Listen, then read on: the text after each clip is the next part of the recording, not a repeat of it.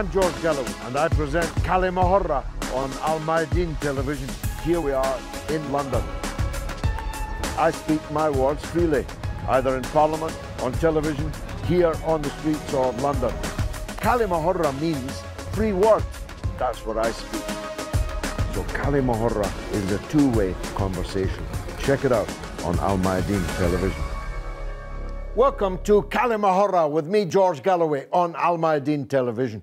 Coming to you from London, but dealing with an issue that in one way or another affects the whole world. Two of my good friends are now behind bars. It's not often that someone like me can say that, especially when those good friends have committed no crime that any reasonable person would describe as a crime.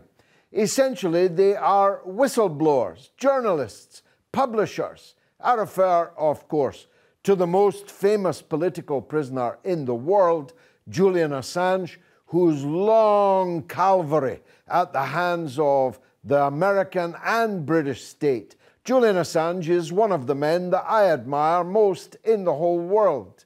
He's a world historic figure who'll be remembered long after the people who have placed him in the maximum security jail in Belmarsh in London. A jail so horrendous that they put mass killers there, child murderers, terrorists are incarcerated there, and this gentle, mild mannered man, a geek, you might say, who spends or did a lot of his life behind a computer finding out things that the rich and powerful in the world would rather that we did not know. He took the view, as do most sensible people, that we have a right to know what our government is doing in our name, on our dollar, and using the state that they govern for apparently or purportedly our benefit. Julian Assange's case is well known. Less well known is Craig Murray.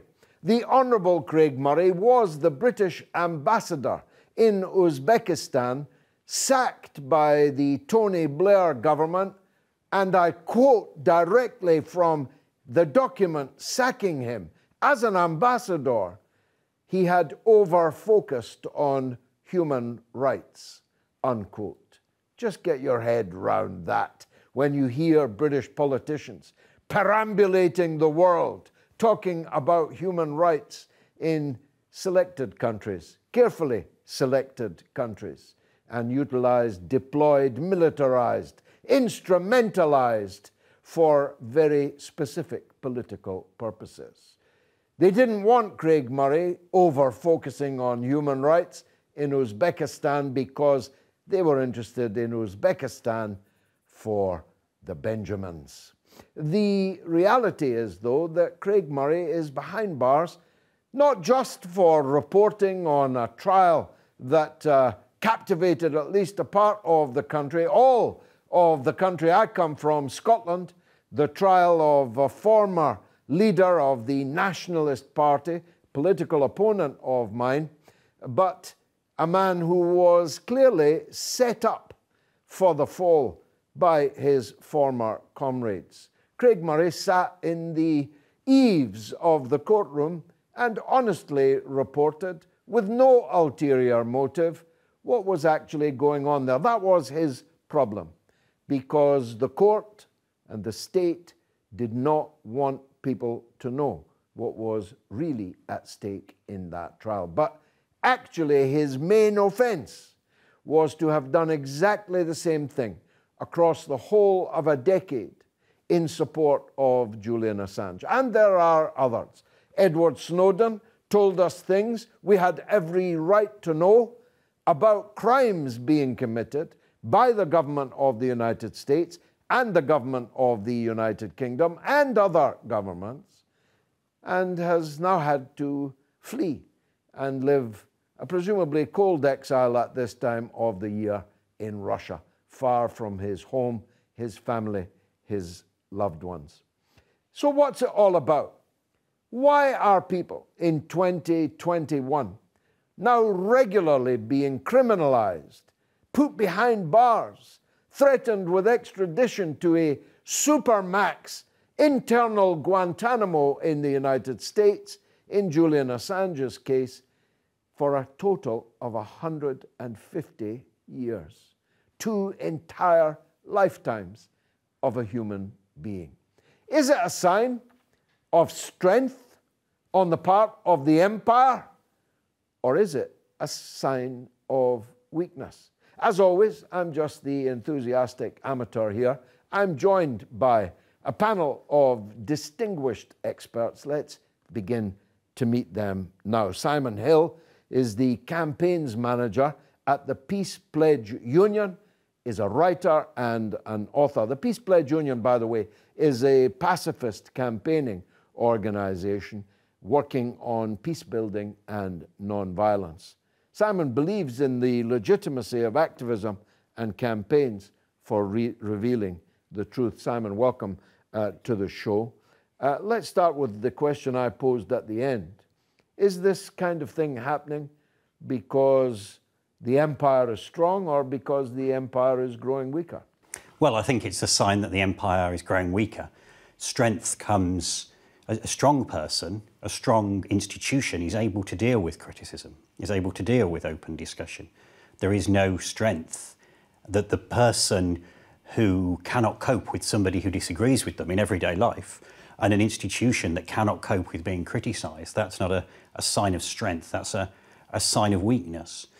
And yet, Symon, they have managed to mm. corral uh, the support of what is supposed to be the fourth estate, the mass media, which has never been more huge in our lifetime, never been more high powered, and yet is virtually entirely silent on these three individuals, except where they're joining in the persecution of the whistleblowers. Well, I think it's worth noting that, um, as, as I know you know very well, George, the many of the newspapers in Britain are owned by a small clique of, of billionaires. Um, we have a, a, degree of free speech in Britain because our ancestors campaigned for it, not because the rich and powerful graciously gave it to us, but because our ancestors campaigned for that.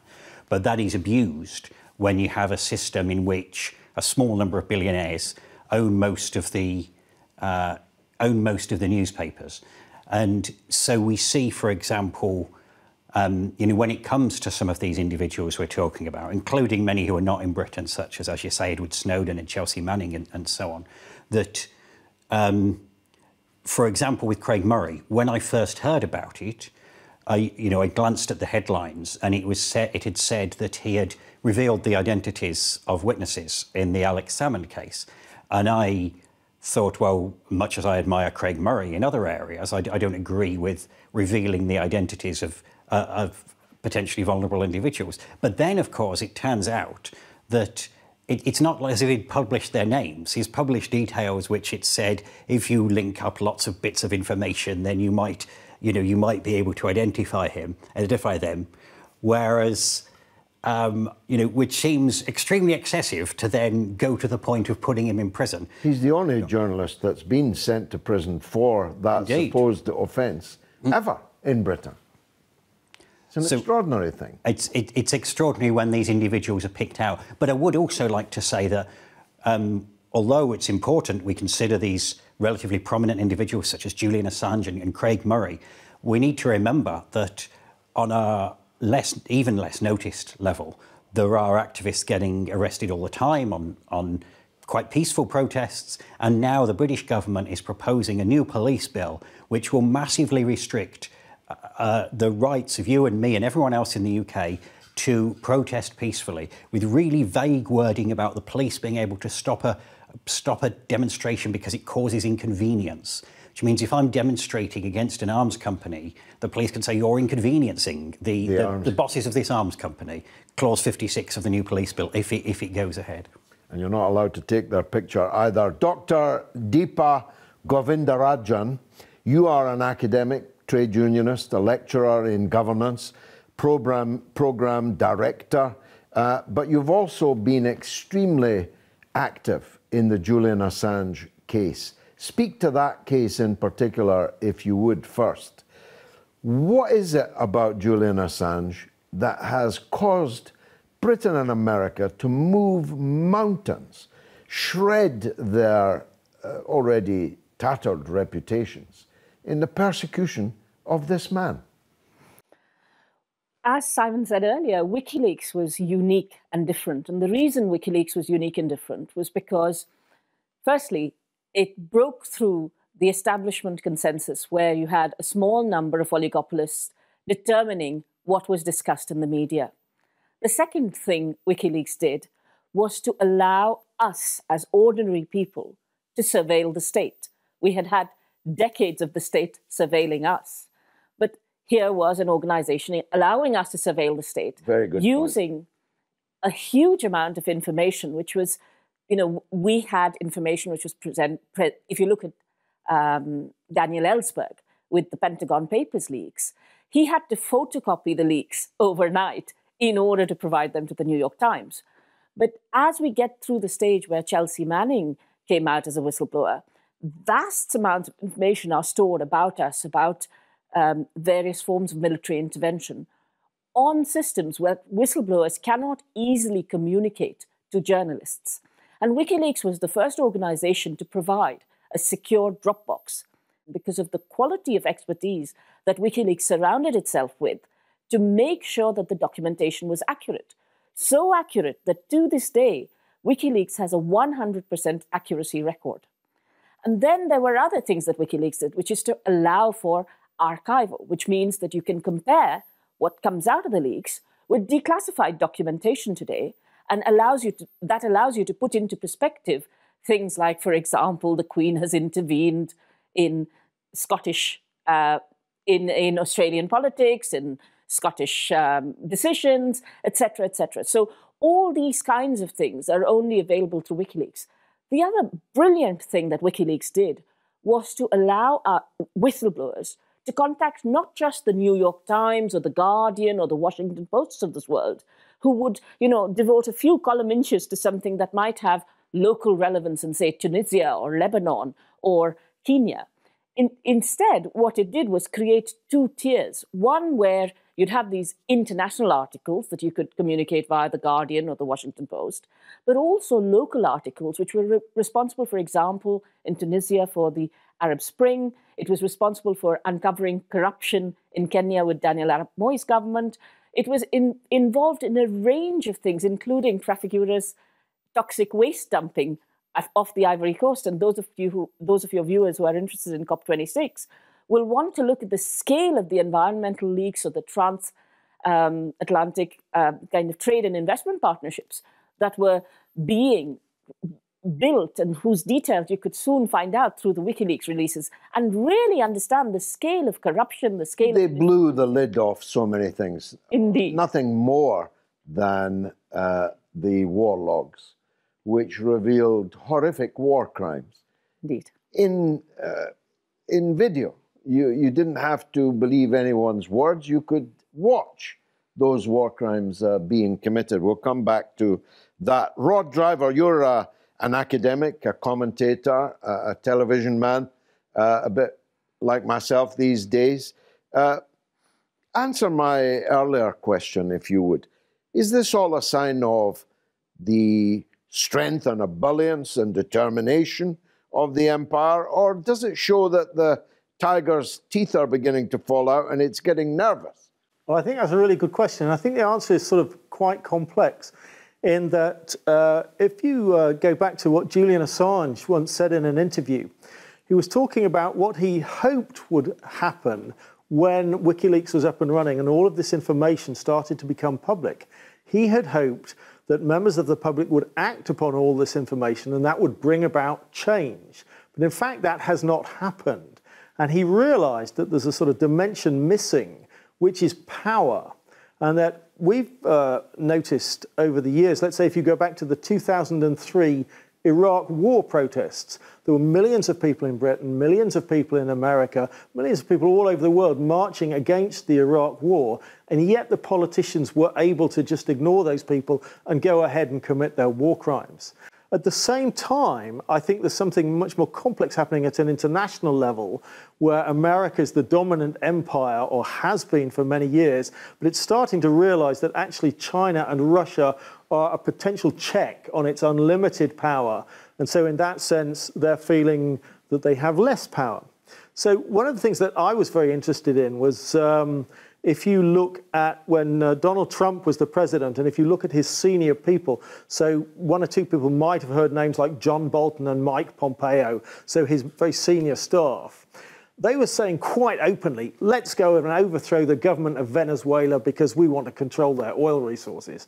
30 or 40 years ago, the CIA would have had to do that type of thing in secret. Right now, it's just brazen, it's just out there in the open, and they feel they don't have to hide it in the same way. So I think there are some people within the administration in, say, America or in Britain thinking that they have almost unlimited power relative to their own populations, that uh, they can do whatever they want to do, and there's no way to hold them to account. But there's a, a sort of recognition of a check at an international level. And this is also connected, I think, with developments in Britain, say within the Labour Party, where basically Keir Starmer, the leader of the Labour Party, is essentially an establishment stooge.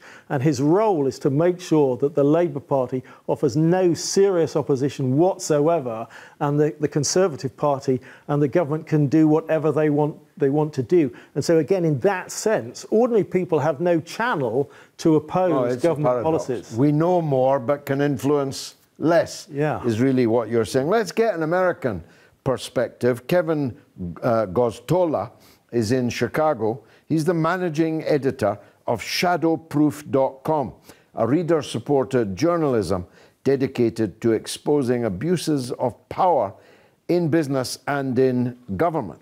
He produces and co hosts a weekly podcast, Unauthorized Disclosure which is, in a way, what this is all about. Let's hear from Kevin. Yeah, thank you. Kevin, Julian Assange, uh, the uh, whole raft of people now being prosecuted, persecuted, sent to prison, uh, uh Edward Snowden, uh, Craig Murray, Daniel Hale. The list is becoming so long I can't actually adumbrate it properly. What's going on? Why are they doing this? Yes, what we see from Western security agencies is this targeting of people who dare to expose their criminality, to challenge their conduct.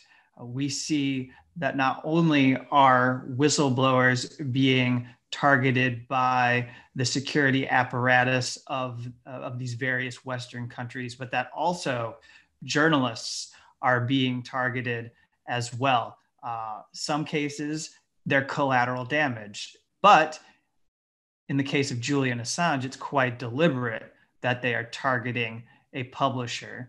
They are going after him. It's now pretty much accepted in the establishment press, thanks to a Yahoo News report, that the genesis of this prosecution against Julian Assange is entirely political and a product of the CIA's desire to seek revenge against Julian Assange for his journalism, for the work that WikiLeaks was doing on materials from the CIA. The opposing view is that revealing these kind of things causes diplomatic rifts, could even put people's lives at risk. Is that a legitimate argument? Well, in the case of Julian Assange and WikiLeaks, uh, you can look at the record for the extradition hearing that took place in September 2020, and numerous journalists came forward to describe the care that was taken with documents to ensure that people were protected, including, let's say, activists who were working with the US State Department, informants that were working with the US military, uh, people who had risks if their identities were exposed, that was taken into consideration. Uh, these weren't document dumps.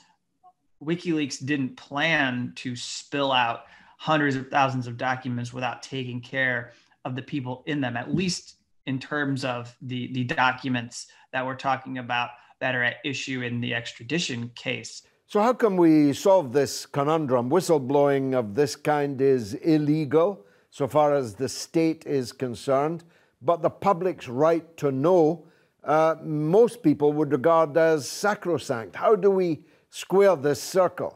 What should be done is there should be more declassification of information. Uh, that's the first and foremost priority that journalists should advocate, as well as citizens of these countries should advocate. These security institutions are keeping too much information secret from the public. And for the most part, I'd say I'd suggest that 70 to 80% of it is information that has nothing to do with sensitive information on the ground. So to speak, like we're not talking about troops that are going to be put in danger of a terrorist attack if they are revealed to be in certain locations. We're not talking about the disclosure of that location. We don't want people to see the blueprints for how nuclear facilities are operating, so those would be compromised. We're talking about information that suggests how the national security agencies feel they can conduct new forms of warfare, hybrid warfare, the way they can use cyber attacks, the way that they can conduct drone attacks, that kind of thing. What they can do to engage in surveillance against people and jeopardize their privacy and, and violate their privacy, which is the focus of Edward Snowden's whistleblowing. And, and so those are the materials that we need to force out. And if you force out those materials, then it means that we'll be at we'll be in need of less whistleblowing. There will be less need for those people in these institutions to take risks and become sacrificial lambs and give up their careers. But at the moment, that's the only option that we have as far as a public to know what these institutions are doing. Are you satisfied at the level of support that people like Julian Assange are receiving from the public? Well, we need to break it down when you look throughout the United States, you see civil society organizations that care about press freedom and human rights that have, for the most part, spoken up and said they're opposed to the US Justice Department pursuing the extradition of Julian Assange. You see uh, editors and chiefs of these newspapers, major newspapers, some of the news networks that have said this is wrong, what is being done but they still see Julian Assange as somebody who's different than them, and they use words in a way that enable the CIA to continue to push this prosecution through the Justice Department. And in doing so, that means that Julian Assange still remains in this very awful situation. So um, I think the answer to this question is that there's a lot more we need to hear from the media in the way of solidarity, but I'm skeptical that they will give it. Much more of this after the break. Stay tuned.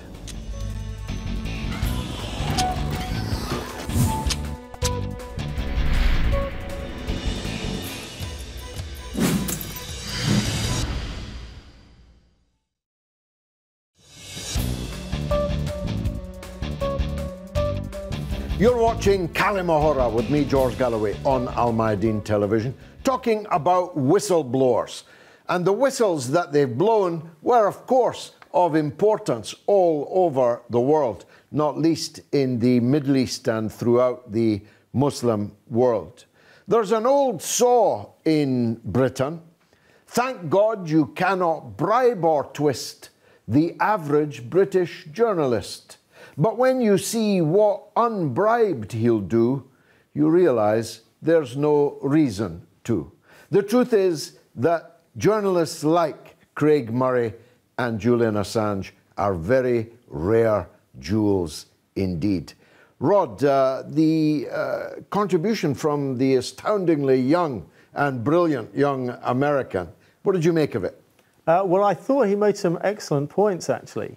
Um, in that, one of the things that I try to uh, uh, teach people when I'm explaining about uh, how, what's wrong with the way the world works is about what's wrong with democracy. And one of the key things is that in countries like Britain and America, you have far, far too much secrecy. And this is one of the points that Kevin picked up on when he was saying that a huge amount of uh, information that is classified. Well, the various historians have gone through all sorts of historical documents that in the past were classified and are now declassified or unclassified, and so they're available to the public. And you can look at them and they write books about them. And what they've realized is that the vast majority of documents that are classified are not really related to official secrets or national security in any meaningful sense. It's actually about covering up the crimes of powerful people. And I think this is a debate that you never see in the mainstream, that they just buy into concepts like official secrets and national security as if it must be kind of meaningful, and we just have to accept what the government tells us about it. Well, I've actually lived so long that I'm now seeing declassified documents uh, about events in which I was quite heavily involved at the time. Uh, it's quite chilling. But the point that you make is uh, absolutely correct. For the most part, they were classified to cover up illegal activity uh, by the British uh, government. Speaking of which, Dr. Deepa, uh, as our American guest said, thanks to Yahoo News, not exactly a revolutionary uh, newspaper, uh, we now know the Americans were making plans even to assassinate Julian Assange on the streets of London, and actually, perhaps even more seriously, to have a shootout with Russian diplomats if the Russians sought to give diplomatic protection to Assange. It's amazing, really. It is indeed. And for those of, uh, I'd like to take a step back and talk about what they did with Guantanamo, which is the Americans said anyone who's held at Guantanamo or any of the black sites, all these, you know, the 780 odd Muslim men who were held at Guantanamo for years without charge, without due process, were all illegal enemy combatants. And because they were illegal enemy combatants and they were on this site, which was outside of America, normal American legal processes did not apply. They could continue to torture them horrendously and ill treat them horrendously, and there would be no comeback. And they tried to do the same with WikiLeaks, and that's what the Yahoo News investigation established, which is Pompeo had classified WikiLeaks as a non state hostile intelligence agency. This meant that the intelligence organizations could go after WikiLeaks journalists in a way that was outside of congressional oversight. And part of making those plans to try and kill him in the embassy, to think about having a shootout on Knightsbridge Street with the collusion of the British intelligence, were all part of this same attempt to make what they were doing, which was completely illegal, within the law because now the law didn't apply. So you have that in Julian's case, but you have two other things. They used an Icelandic supposed hacker who's not actually a hacker, and they got him to testify that Julian had hacked into third country systems. And actually, this man is a convicted fraudster and pedophile. And the F- he is the FBI. He's actually in prison now. He is in indeed. Iceland. He is indeed. And the FBI use him as their main witness in the case, and he is referenced in the judgment that Vanessa Baraitser gave criminalizing journalism.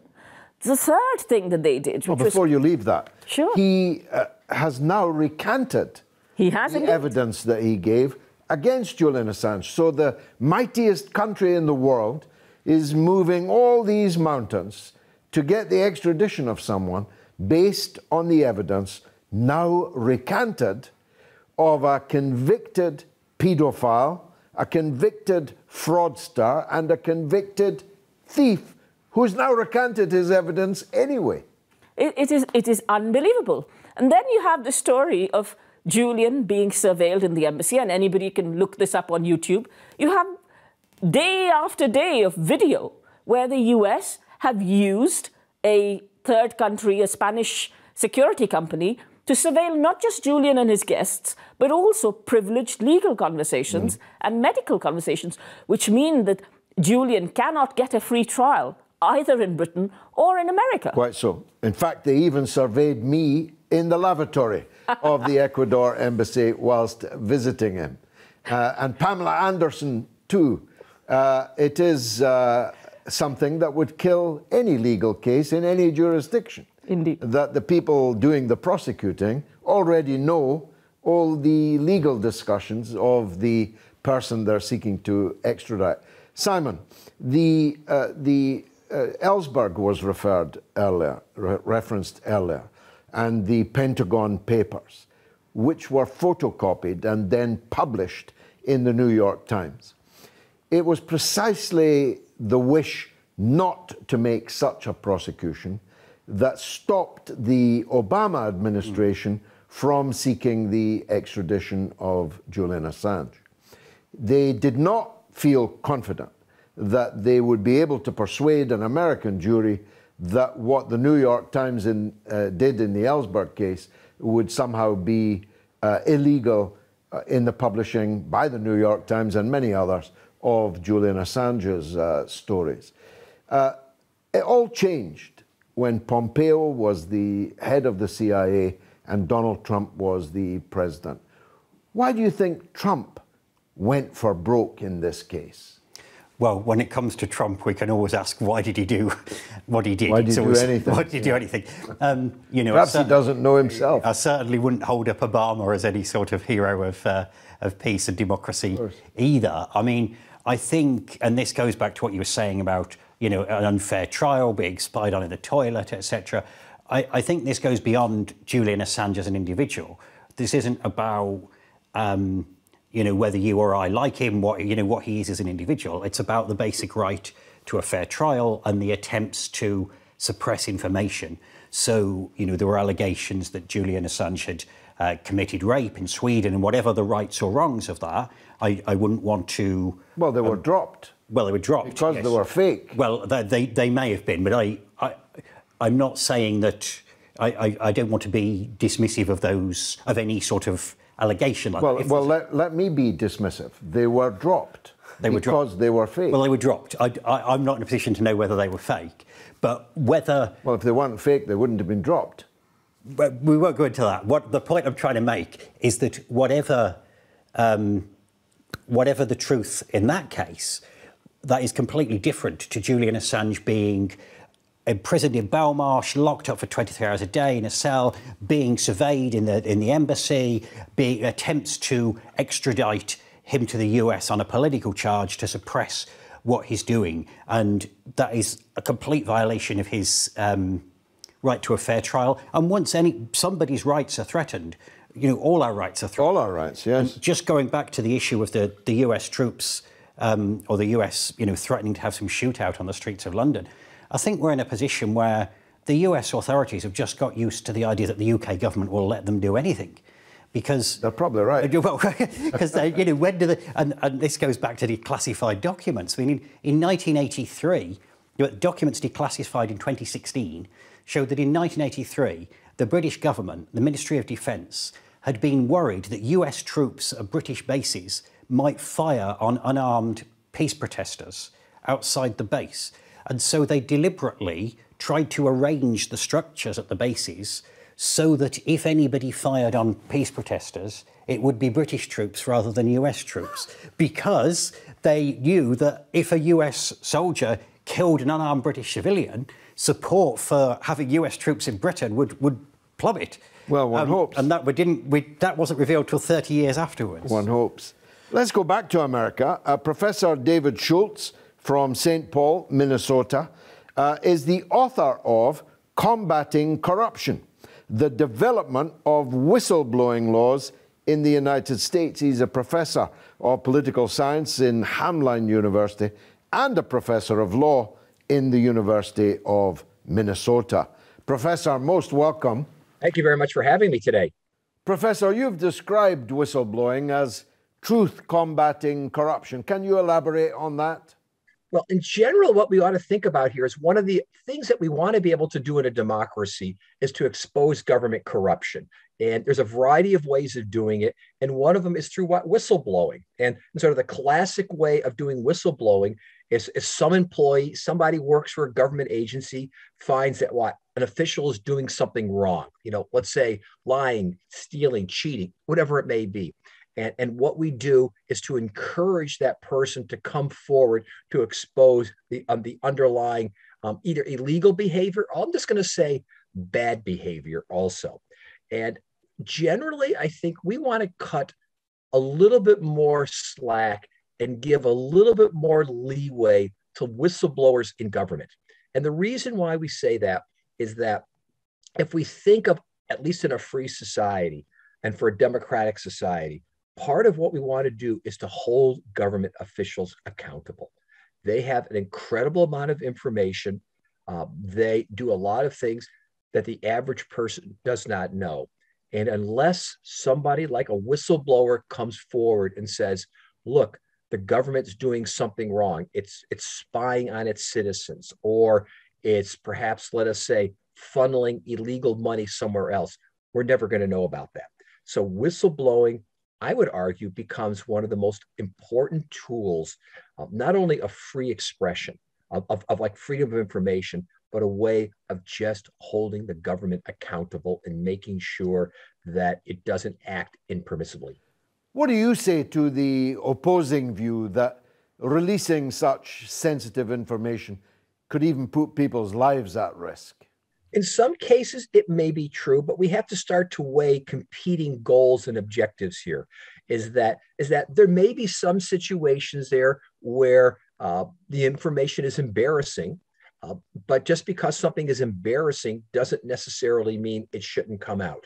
Um, that that if government officials are doing things um, that that they cannot tell their citizens about because they're embarrassed, uh, that that's one issue. But if it does pose, let's say, a real national security risk, we have to do weighing of competing objectives. One is to say, okay, at what point is the risk so great that disclosure shouldn't come out versus on the other side that again the public is entitled to know um, what, what that information is. The other thing that i'm worried about when government officials make the claim of national security they get to make the claim themselves. Um, they get to say this information violates national security. It can't be released. And it becomes almost a, a shield a, a tool that they can use. And the example that i use and it's an old one, but it's a good one still, is what? The release of the Pentagon Papers in the United States back in the 1970s, that the Nixon administration um, was afraid that the release of these, what's called the Pentagon Papers, and the papers were what? Classified documents on how the US got involved in Vietnam. The, the Nixon administration was claiming that to release this would be dangerous and it tried and hurt national security. It would it was trying to prevent the New York Times, the Washington Post from, from releasing it. Eventually, they lost those cases. The Pentagon Papers came out. And it's hard to say that national security of the United States was compromised as a result of the release of that information. There's my classic example of, of where the government was using the, let's say, the false claim of security as a way of hiding accountability, of shielding embarrassing information. So I think we have to read any national security claims very, very narrowly. And again, do that trade off and ask at what point um, should the public still have a right to know? At what point um, do we is releasing this information critical nonetheless in terms of, let us say, holding government officials accountable? Professor, here's the big question. Whose decision is it to make what information should be revealed to the public? That that is a tough question here. And and generally I think the presumption ought to be that what all information is public, uh, especially if we're talking about, let us say, um, uh, not just domestic affairs, but international affairs. There's a principle of international law that, for example, all treaties are supposed to be public, and that in many ways we could argue that that almost all diplomatic um, um, issues should eventually be made public, with again the presumption being that that the public has a right to know this information. If push comes to shove, if there's a challenge in terms of, uh, of whether this stuff can or should be released, oftentimes perhaps the only way to do it is it has to be fought out in the courts um, at that point. That ultimately um, a judge should decide if that information should be released. Professor Julian Assange is in prison. He might be forever in prison. Edward Snowden is in exile. He might be forever in exile. Uh, there are many, many others that are now being prosecuted. Is this the future, do you think? Uh, is the security state closing in on whistleblowing? It appears to be. And what's interesting here and sad is that I picked the Pentagon Papers as my point because there seemed to have been a high point in the 1970s, uh, maybe early 80s, where the emphasis upon disclosure, upon the protection of whistleblowers seemed to be growing. And what we're seeing in the West right now is even democratic societies becoming less supportive of, of the basic principles of open government and transparency and are more and more so invoking the fear of national security. Fear that if, for example, we were to disclose something, um, it might um, it might what encourage terrorists or it might put us at a greater terrorist risk. In some ways, the attacks of 9 11 in the United States, the attacks that were in the UK, Spain, and around the world, I think scared a lot of democracies into retreating back from these basic principles of, of, of disclosure and of now targeting, targeting the whistleblowers and shifting the dialogue away from what the government was doing to now saying, look at what this whistleblower did, threatened national security. In fact, I would argue that some of the information coming out from Assange, from Snowden, and so forth were pointing to what? That perhaps government actions themselves were threatening, let us say, the democratic structure or the the uh, the national security of the country from the fact that these were countries and actions that were what violating democratic principles. Rod, isn't the uh, key point uh, the one that Dr. Deepa made earlier that WikiLeaks and anything that came after it, uh, nothing yet, but there will be, uh, democratized this whole process. Now, you didn't have to persuade the New York Times to publish something, you didn't even have to persuade a judge to let them do so. You effectively made your editorial judgments and as you said, peerlessly perfect, 100% accuracy in the case of WikiLeaks, and absolutely no case being made, even by the US government, that anybody's life was lost as a result of these disclosures. It was the fact that you could now go around the craven media that I've spoken about earlier, around parliaments and politicians, and go straight to the people with all this information. That was the big innovation of WikiLeaks, wasn't it? I think that's true. I think uh, this was something that was uh, highlighted at the time when all of the Iraq and the Afghan war logs came out hundreds of thousands of documents showing in immense detail the war crimes by the American government day after day after day in countries where they were occupying. And as Julian Assange himself said, this was a sort of detailed catalogue of war, the likes of which the world had never seen before. And here it was available to the general public, and we could all see in complete detail exactly what was really going on. And in fact, um, I've come across a number of writers who've said actually what he was doing was making everything so transparent that he became a threat to war itself. And this is why the American government have pursued him so aggressively that they, they absolutely want to set an example to say to every other journalist in the world, we want the right to carry on with our war crimes Absolutely. without scrutiny, without oversight, without anybody having the ability to stop us. And Julian was showing that actually you might be able to do that. You might be able to stop the Americans and the British committing war crimes by making this information public. And if he was allowed to get away with it, lots and lots of other journalists and whistleblowers would follow suit and say they have stamped down on him as hard as they can. And so they have uh, prosecuted him. I, I'll change the word there. They have persecuted him for over 11 years now. And there's no sign that that is going to end in the future.